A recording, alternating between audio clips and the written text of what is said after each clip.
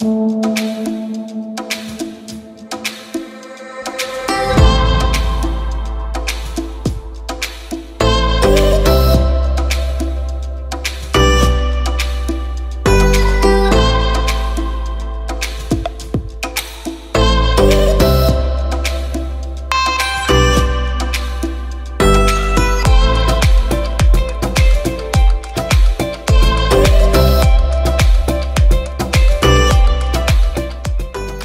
Bonjour à tous et à toutes, j'espère que vous allez bien. Alors aujourd'hui je reviens avec une vidéo pour vous montrer comment je nettoie et désinfecte mes toilettes.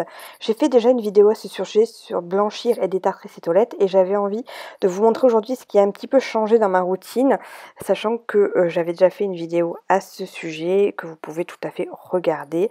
Alors voilà l'état actuel de mes toilettes, donc ils ne sont pas très sales, il y a bien sûr un petit dépôt au fond, mais euh, je n'ai pas le temps de les faire à fond tous les jours. Par contre la routine que je vais vous montrer me permet vraiment de les entretenir régulièrement et d'avoir en fait euh, d'éviter que le tartre et euh, le calcaire se déposent et qu'ils s'encrassent.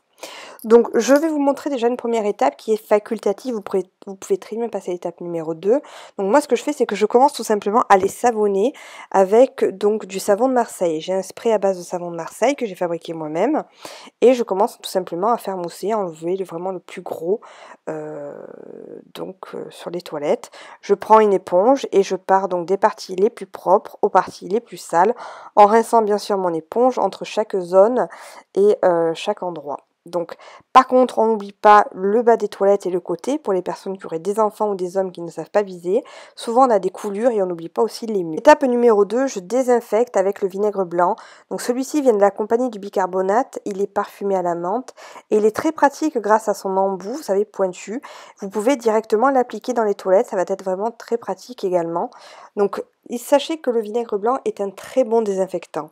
C'est encore plus efficace que la javel et c'est naturel, écologique et voilà, ça ne pollue pas. Vraiment, pensez à l'utiliser. Je sais qu'il y a des personnes qui créent une odeur, donc celui-ci parfumé, c'est quand même beaucoup plus agréable. Par contre, voilà, sachez que l'odeur du vinaigre blanc, de toute façon, même si c'est désagréable lorsque vous l'utilisez, ça ne reste pas dans les, dans les, dans les toilettes, c'est-à-dire que vos toilettes ne vont pas sentir le vinaigre blanc pendant des jours. Ça reste une heure et ensuite ça s'en va. Donc c'est le côté euh, avantageux du vinaigre blanc.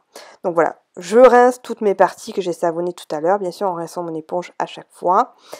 Et Ensuite, je vais saupoudrer donc d'une poudre de percarbonate qui va m'aider à blanchir et détartrer le fond de mes toilettes. Donc je la laisse agir et pendant ce temps, je vais utiliser une petite brossette que j'ai trouvée sur le site de AliExpress et je vais nettoyer le côté, enfin les petits creux des toilettes, là où euh, l'eau s'écoule et où on a souvent tendance à avoir les saletés qui se nichent.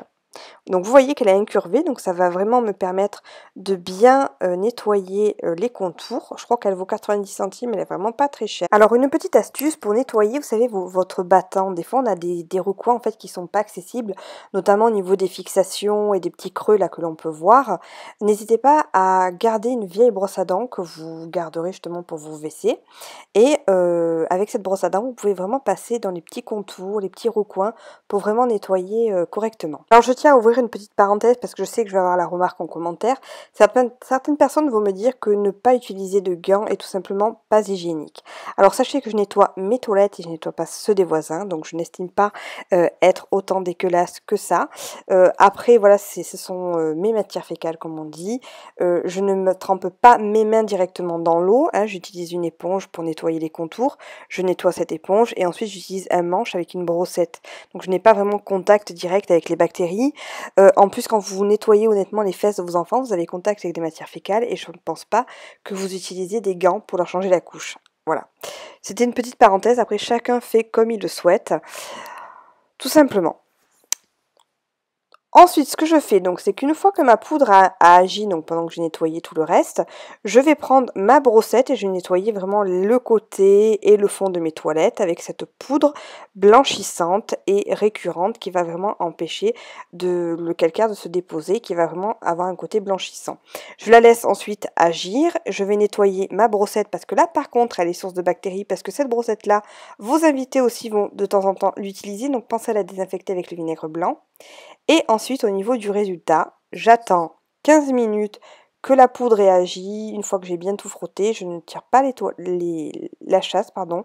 Je laisse agir. Je tire ensuite ma chasse et vraiment, on va voir donc du coup que euh, tout le côté blanchissant, désinfectant a agi et on a des toilettes propres. Voilà. Pour ceux qui ont des toilettes beaucoup plus encrassées, n'hésitez pas à utiliser les cristaux de soude qui sont beaucoup plus puissants, mais en quantité bien sûr limitée parce que ça risque d'abîmer vos canalisations. Donc faites attention. Hein.